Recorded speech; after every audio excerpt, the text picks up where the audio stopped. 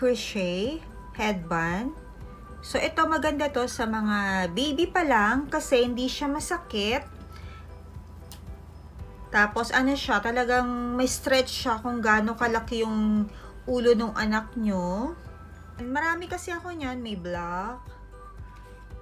And then, may blue. But ang gagawin natin, kasi, syempre, pag bata, mas maganda kung pink. Pili din tayo ng 1 inch gross grain ribbon. So, ang napili ko ngayon is si Jojo Siwa. Kailangan din natin ulit ng corkers. So, yung paggagawa nito, tinuro ko na before. Ikakat lang natin siya ng mas maliit. Needle and thread. We need scissors. Lighter for heat seal. Glue gun and then glue stick.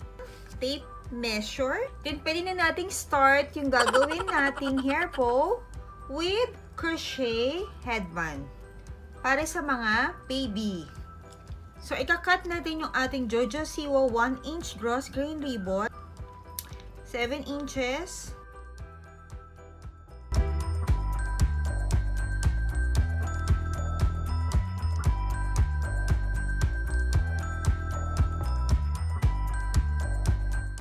Para mas madali, kunin na lang natin ulit yung pinaka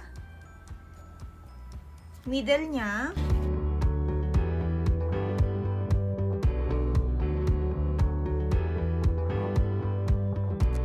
Ninalagay lang natin sa pinaka-middle.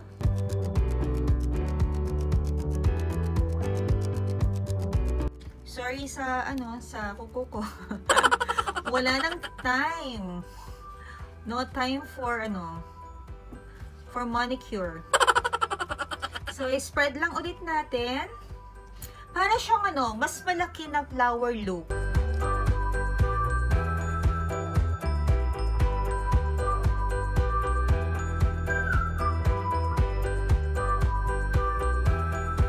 So, ito na ating flower loop. Then, i-close natin siya.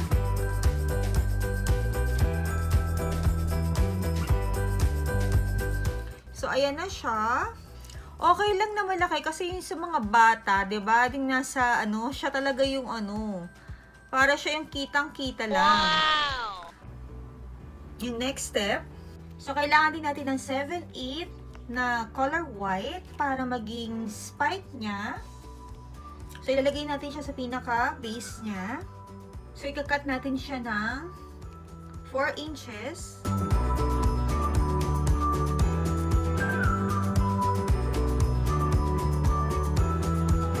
Para gumawa ng spiker bow, sa ilalim siya, magiging base lang natin.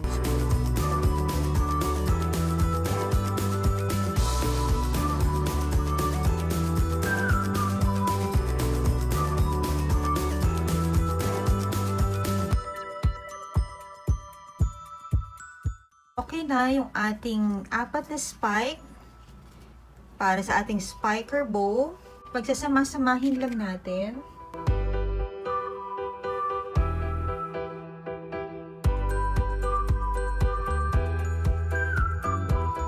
Ito na yung ating spike.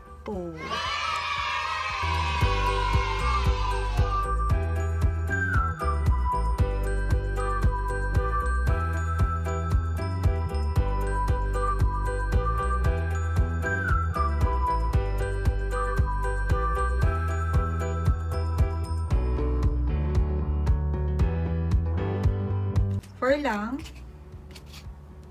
na magkaiba yung color nila alternate din yung color.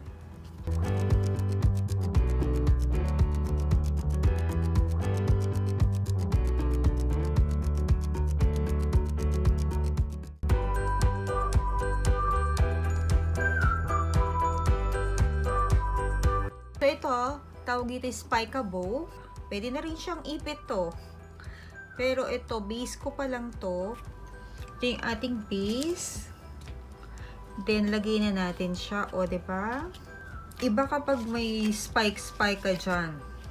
Then, gagawa tayo ng pang middle. Pwede rin siya yung bottle cup kung gusto ninyo. Sa isa ko pang video, lagay ko dito. Meron siyang bottle cup. Pinlalagyan lang siya dyan. Wala akong resi resin para dyan. So, ang gagawin na lang natin is para mas cute. Kasi it's for baby. Siyempre, pag babies, dapat bongga. Wow! Nilalagay natin is ang ating corker. So, yung corker natin, marami na akong tutorial about sa paggawa ng corker bows. Yung hindi pa nakakaalam, ang gagawin lang, kailangan lang natin is wooden clip and then dowel and then itong ating 3/8 na uh, grass grain ribbon and then iikot mo lang siya. For me wala akong ang aking oven is oven toaster. Lalagay ko lang siya ng 6 sa 6 minutes and then rest then another 6 minutes and then palalamigin mo then ito na siya. So para mas mas matagal yung curl niya ini-sprayan ko siya ng spray net. Wow! so ayan siya so dahil sobrang laki niya puputo lang tayo ng maliliit ganyan lang siya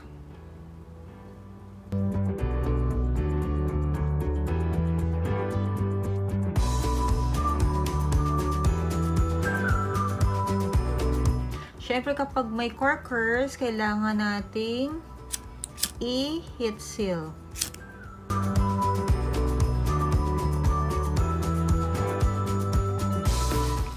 Ready na tayo. Ipag-connect sila. So, again, sa gitna lang ulit. Before, gumagawa pa ako ng cardboard para lang humawak sa kanya. Wow! Kasi nga hindi ka pa sanay, so pag nagkamali ka, parang feeling mo mali, ulitin mo ulit. So yung purpose naman is hindi naman pala siya maging pantay-pantay. So para ma hindi ka mahirapan, eh ganito mo siya. Ganito mo siya lagay. Yan. Lalo na kung maliliit, hawakan mo lang siya sa pinakagitna.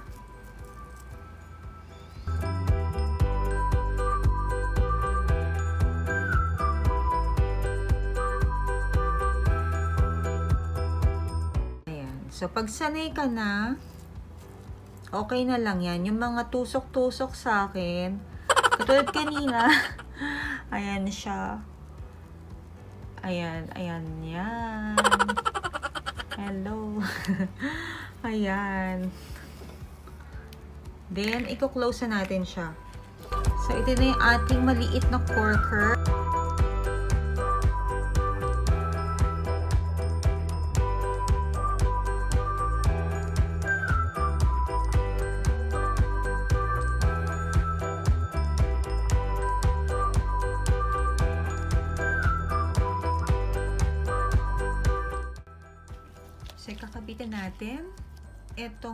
Ating corkers. Gagamit lang tayo ng lugan. Kuha lang tayo ng konti. Then, nalagay na natin siya.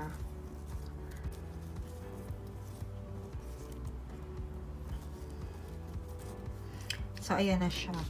So, ilagay na natin siya dito sa middle. O, ayan na siya. Ayusin lang natin para mas maging maganda.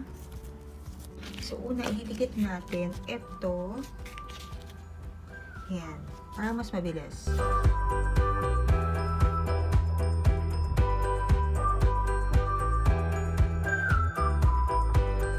Pero ako nilalagay ko siya sa side. Dito siya sa side. Ito yung kanyang headband. Then, yan. Pwede rin nyo rin siya iglugan, pero parang mas safe kung tatahiin natin siya. Kasi kung tahi, pwede nyo pa rin siyang tanggalin pag malaki na si baby. Pwede nyo nang tanggalin ito dito sa crochet na headband.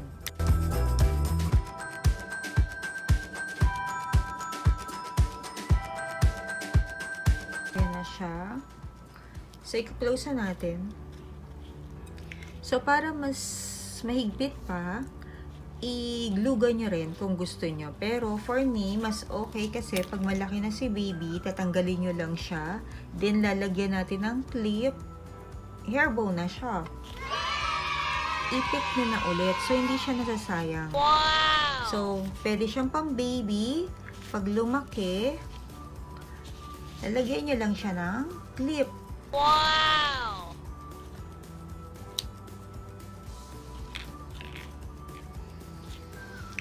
Ito na siya. Yung ating Then, kakabitan natin yung pinaka needle niya. Gagawin lang natin, lalagyan lang natin ng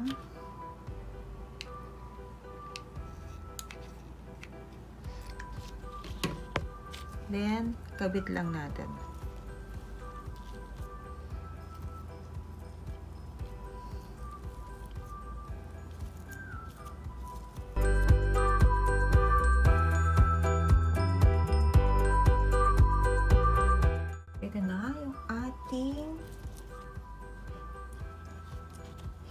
Bow for babies. So, hindi natin makita. Lagyan natin siya sa maskita. Wala kasi yung, wala na kasi yung ano ko, yung manikin ko na head. So, ito na lang yung gagawin natin para mas makita nyo yung hair bows.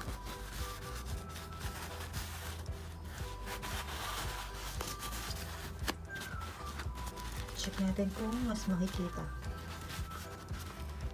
So, ayan na ang aking finished product.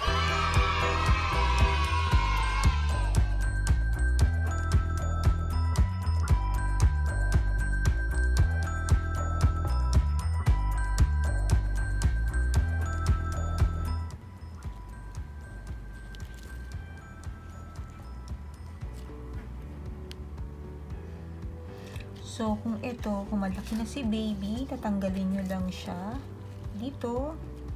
Then, lagyan nyo siya ng clip or any clip or tie, hairpin. Pwede nyo na siyang gawing ulit. Ipit. Kung malaki na siya.